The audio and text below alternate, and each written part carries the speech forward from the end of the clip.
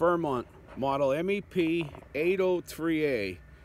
This was born on 8 of 98 and it had a tier 2 reset at Letterkenny. We're going to take a walk around this and, and show you everything. So there's a couple screws missing out of the top. The flapper is there. The top looks good. There's a ding in the there's a ding there and there's some paint missing. It's an aluminum top, it'll never rust. Some mold forming over there on the edges. Uh, looks pretty good so far. All the doors work. There's a set of matched batteries. Um, I'm not going to change them. I'd be stupid to. Uh, it's clean. It's clean and damp inside. It's been raining for for a week now.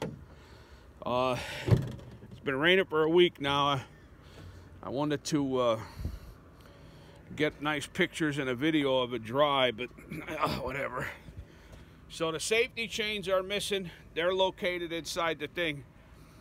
This is a surge brake.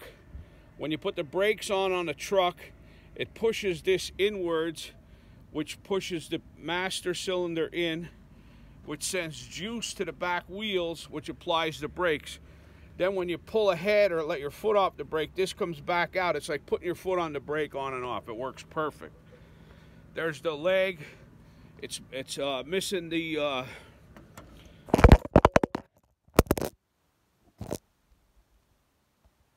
it's missing the uh, jack. There's a there's a crank that goes on to this and it's supposed to be mounted here, it's missing. This is the typical plug for the military. Uh, the lights on this are 24 volt. You could just swap out the bulbs and then chop that off and put a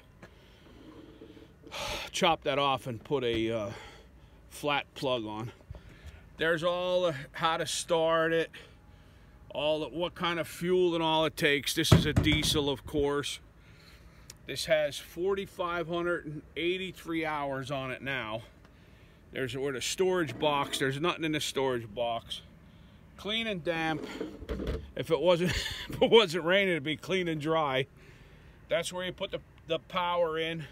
The wrench is missing. Uh, once again, clean and wet, but you know, still good. It starts and runs perfect. Uh, we'll take a walk around. These are the brakes. They're the parking brakes. You put them on, they both work. These are Humvee run flat tires. These tires are made to run 50 miles an hour flat. The fire extinguisher's missing. The ground rods are missing. Usually the ground rods are mounted underneath there. There was probably a set in this box, but they probably left them wherever it was. It's got the CARC paint. The back of it looks really good. There's some trauma there to the corner. Hunk of paint missing and the fuel gauge doesn't work. So I'm going to assume that somebody was in here screwing around. They started to take some screws out, and that's as far as they got. Here's where you hook the auxiliary fuel line. Uh, you hook a line to this and run it. You could tee it into your oil burner, into a drum, a five gallon can, and this machine, uh, it'll start and run. There's the safety chains, and in each of these, each of these envelopes, this is the manual for the trailer, and this is the manual for the generator. Uh, usually there's ground rods in that box, there isn't.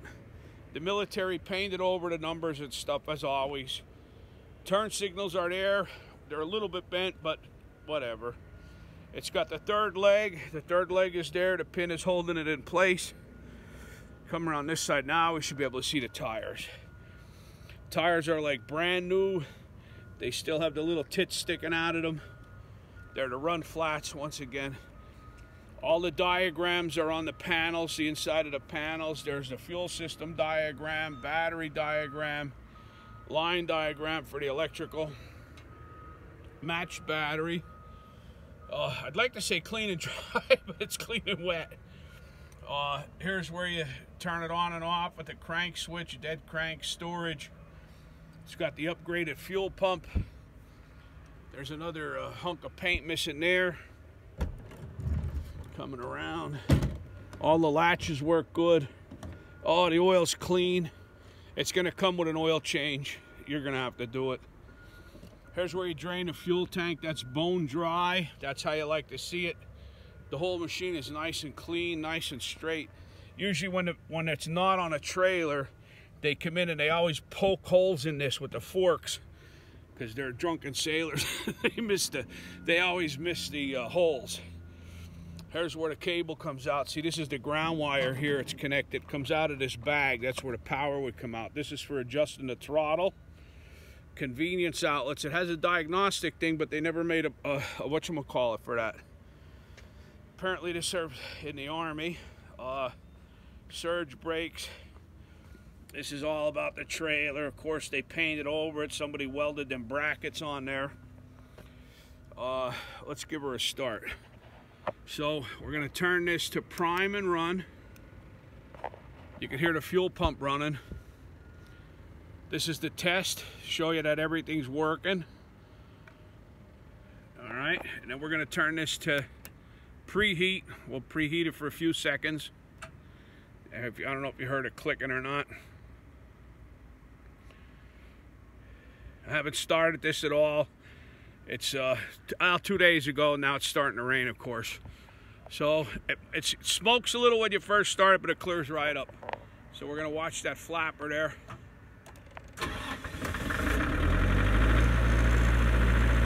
Little puff of smoke. Start it right up. It's making juice. Good oil pressure. Stone cold. I told you this ain't working. You can watch this, this will come down as it runs. Uh, we need to turn the throttle up to get the hertz up to 60. A little bit more.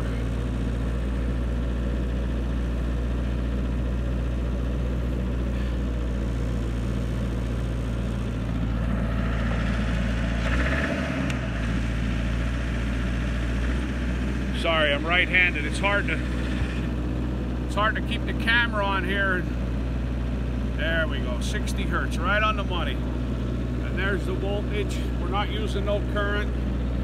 You can see this has come down. We'll take a walk around. See, there's a little bit of smoke. I believe that's from the uh, their st fuel stabilizer in there.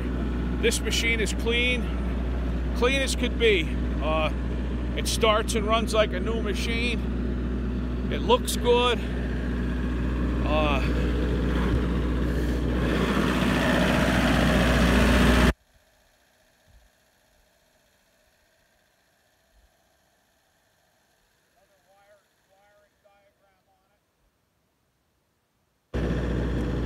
It's really quiet. Hooked a slave receptacle for jumper cables. They make a NATO, NATO, a set of NATO jumper cables. Look, it's clear as a bell now. No smoke at all coming out of it. It's a beautiful, beautiful machine. Uh, here's where you set the voltage. So there's, let's see. Uh, oh, there, it's on 220 now. There's 110. You can adjust it too. See it coming up right there, right 110. 60 hertz right on the money. These are, oh, this is, that's for the circuit breaker. There's a contactor in here that sends power to them terminals. Otherwise, there's nothing on it. Uh, here's the panel lights. Um, this is the battle short. You turn this on, this this will run without water, without oil. There's your uh, test lights. Everything's in operation you have any questions, call me 570 527 6056. 570 527 6056. And my name is Emery. And this machine is for sale for 2750 We'll start her again. Start it right up, little puff of smoke, and then it stopped. Thank you for looking. Bye.